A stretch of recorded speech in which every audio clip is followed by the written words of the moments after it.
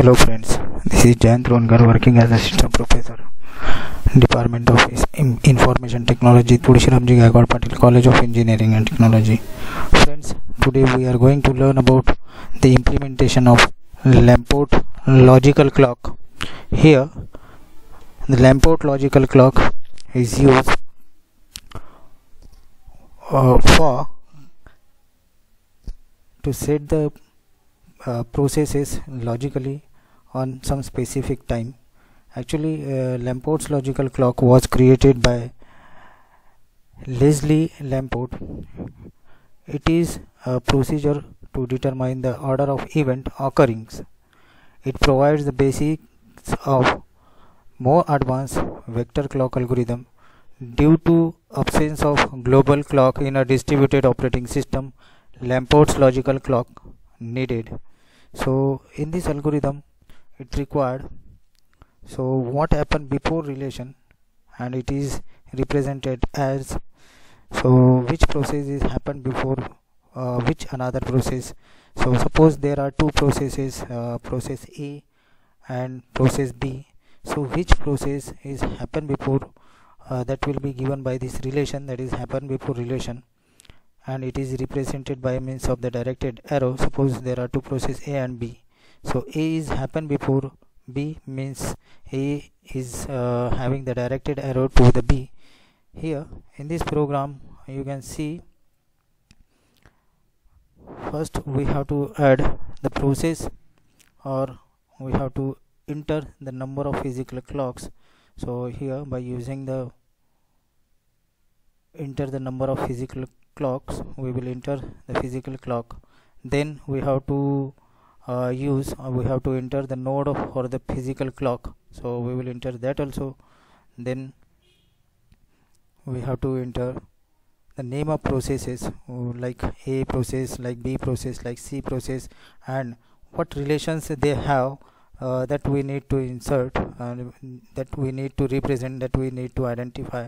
So it will be identified by using this uh, by using the relation that is what uh, happen before relation and it will be happen on the process or by the process which process is occur first on the basis of that happen before relation will be uh, shown.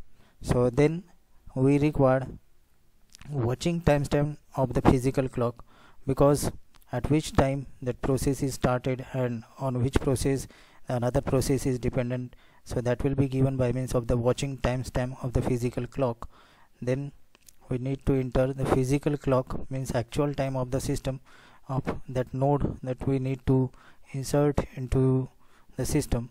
So that again we required while we are accessing while we are processing the Lamport's logical clock. So physical clock is also very important to mention the time and accordingly uh, according to Lamport's logic according to Lamport's uh, algorithm we have to set all the clocks uh, all the processes as according to the global time.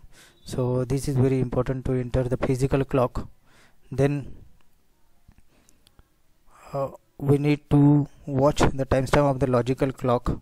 So for that also we need to uh, need the physical clock in this uh, Lamport logical clock algorithm.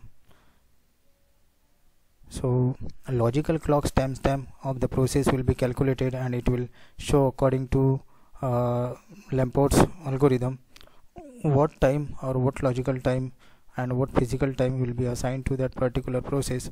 So it represent which process is happen before which another process. So the logical lamp uh, logical clock Lamport logical clock process is very important while we are working in the distributed system. Actually uh, this logical clock concept is having uh, the happen before relation.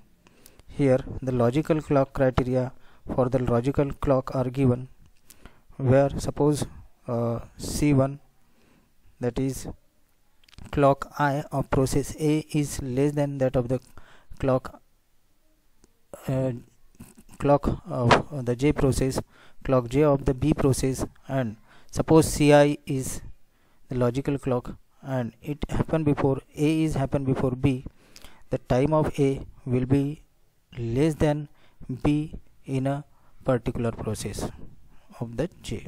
So accordingly the time which will be calculated and according to that time if suppose uh, the process a is happen before b means the time of process b is uh, time of process b will always be greater than that of the time of the process a so this is all about the lamport logical clock and this program uh, after the execution of this program we will uh, see how the lamport's logical clock algorithm works. So we are going to execute this program.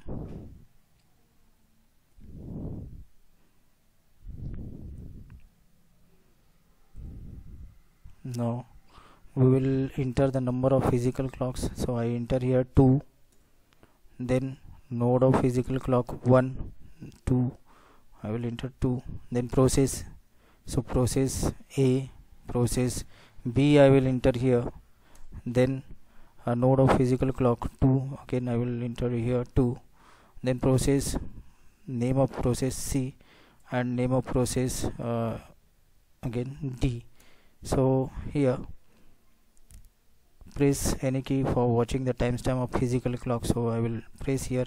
So you can see that uh, physical clock 1 process A has uh, time process time that is 6 process B has processing time 7 physical clock uh, for physical clock 2 process C has processing time 2 and process D has processing time uh, 3 so we can say that process a is happen before process b and process c is happen before process 3 because the uh, clock time of the process b is greater than uh, clock time of the process c.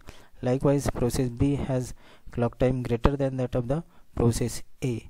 So this is what uh, the lamport logical clock says.